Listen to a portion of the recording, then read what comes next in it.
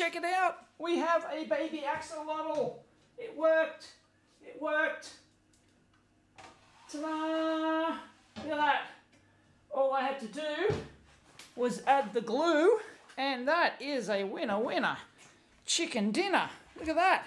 So yeah, um, that was all default uh, settings and everything. So um, now all I've got to do is get it off there. But check out that.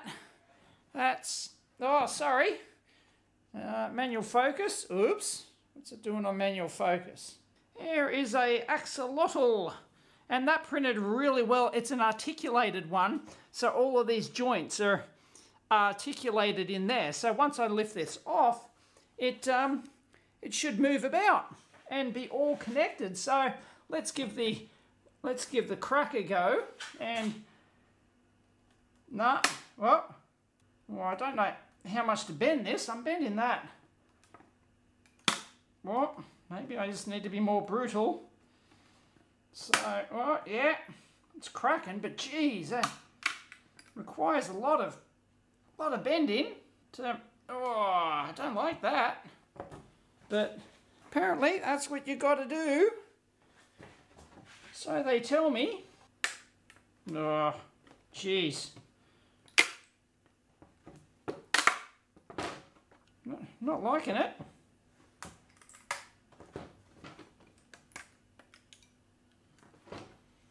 This is a, well there you go. The head's coming off. No, no, I think it's gonna, feel as though it's gonna break down the bottom. No, no, there we go. How do you get all these off? I don't know. It's stuck too well. Now I've lost count the number of people who've told me that the glue is actually designed to get it off. That it's actually opposite. That is not my experience now. With two prints, I have found that when you put the glue on, it sticks like buggery like this. And that was the problem with my last axolotl that failed. If you haven't seen it, here's my last failed one. And there he is there. And uh, he failed. Um, and the part that was actually stuck to the glue, because I had some existing glue, and I that was really hard to get off. Where all the other stuff came off real easy. The ones without the glue came off real easy, and that's what caused it to come a gutser, is because it uh, it didn't adhere to the bed. Well, adhered to the bed, but it got halfway through the print, and then it come a gutser. And so, for all you people crapping on about how the glue is designed to make it come off easier, Sorry, you're wrong. Not in this case. Um, and this is um, Creality's uh, PLA filament and their hyper filament or whatever.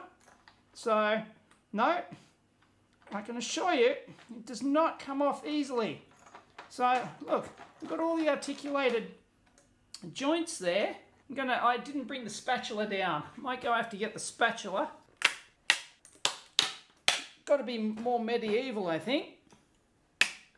Maybe just bend it near where the where it needs to come off, perhaps. This is quite a large print because this is a 300 by 300 uh, build plate. So this is, you know, 200 and something by 200 and something. So it's quite large. Uh, these ones in here are really stuck well. Don't want to break my plate, but then again, I want my axolotl. This is ridiculous.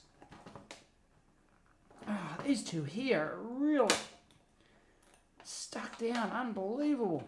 Am I supposed to peel off the stringy, outer stringy bits like that? Is that, is that how it's done? Yeah, leave it in the comments. Everyone's screaming at me. Everyone's got an opinion on 3D printing. Everyone. And they're all contradictory. People told me I didn't need glue and then people said I do need glue, and then people said that the glue works opposite to what you think and actually is designed to release it, and it's it's all turned out to be bullshit. Everyone's opinion is bullshit. See, I don't want to break it because they're interconnected. So that's the whole point of this build is that they're, I don't know, some people are probably screaming at me, I don't know, use acetone or something to get rid of this. I can't. Look at all that. I mean, that that's just turned out fantastic, right? Fully articulating. Look at that. It really is, really is fantastic. So, I mean, you know, this is not the best looking filament. It's just plain white. And um, this is not, this is on normal mode. This is not on detailed mode, detailed print mode. So, I assume that that would take a lot longer and it would give you greater resolution and it would all appear much nicer. There we go. There you go. Got to get the knife. There you go. The spatula's upstairs. I should actually have the spatula to do this. Yeah, you really have to get something under it. And again, people are going, oh, you damaged your plate doing that. Yeah, probably. I want my print, damn it. These two are really stuck. Unbelievable. Does not want to budge. Oh, there we go, got it. It will come off. It does work. I just need to trim it and she'll be right. Right. There it is. There's my little axolotl. Look at that. Fantastic. Looks a bit stringy, but you cut those off, and that is a winning print. And it's all, you see how the joints are all articulated in there? And it, you know, none of those were stuck, like those joints aren't really stuck together. That one might be stuck to there a little bit, but just with some uh, trimming, of course, um, I can I can fix that. No problems whatsoever. So it's just the base. The uh, Creality K1 Max came through. I just had to add the glue down to here, but it was bastard to get off. Anyway, give me 10 million conflicting tips and comments down below.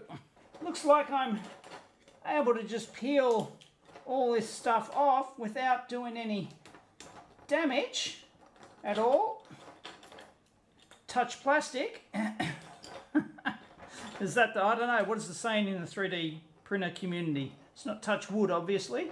Uh, so, oh, that one's, that is just a little, that one's not as, that foot there is really nicely articulated. That one's just a little bit stuck. So I might have to, might have to massage him a little bit. But geez, it's pretty clean. I didn't really have to do much cleanup on that. You can see how that's all perfectly articulated. I can just like pick that up and, you know, play with it and yeah, it's, it's just fantastic. It's very nice. I like it. And that, that's basically just straight out of the box. Really, I didn't fiddle with the settings or anything. All I had to do was add glue to the thing, as it says here. Please apply glue before print. Um, and it prints. Perfect.